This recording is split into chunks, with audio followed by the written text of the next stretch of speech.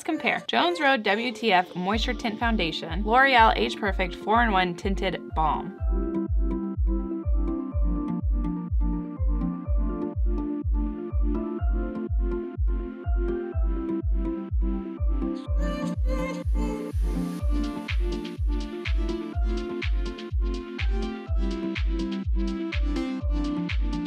Tell me what you think.